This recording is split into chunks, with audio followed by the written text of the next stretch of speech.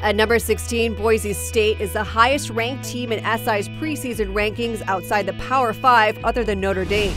Bryan Harsin wasted no time getting down to business in his first season as head coach, as his Broncos won 12 games, including a victory over Arizona in the Fiesta Bowl.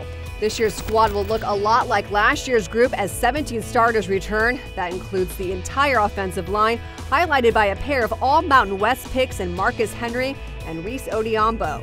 And quarterbacks are not going to enjoy facing this team as N. Kamalei Correa, who had 12 sacks last year, teams with tackle Tyler Horn to form an impressive tandem.